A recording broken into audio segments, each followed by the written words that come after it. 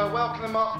The Essex and Suffolk, first time at the Norfolk Show, and we're delighted for them to come up. The Royal Norfolk Show is famous for celebrating all that is great about Norfolk. Already the largest two day agricultural show in the country, it regularly draws in around 100,000 visitors. The event attracts tremendous support from the business community and is said to bring in millions into the local economy. But what does it mean to local rural businesses? We started preparing for the Norfolk show probably three months ago on the cattle front. My son has helped do that. He's the one who was the driving force with a younger college student and would have picked the cows and would have started to lead them, groom them and clean them in preparation for the show today and yesterday.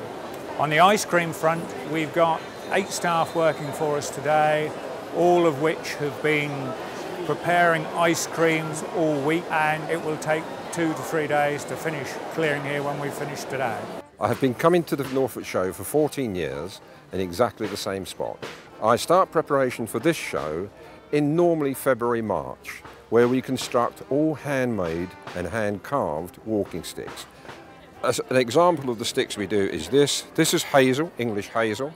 We hand build and hand carve everything you see on the stand. There is no foreign wood or foreign antler.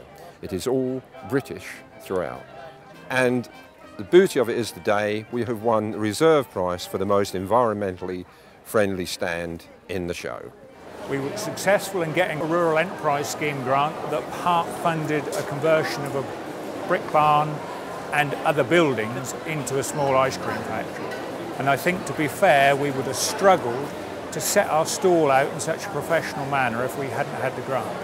It is a lot of hard work, but I'm sure it does raise your profile. And if you're trying to sell an ice cream product, and it's a good product, you have got to get it out to the public. And by being here and having a stand, that is what we try to do.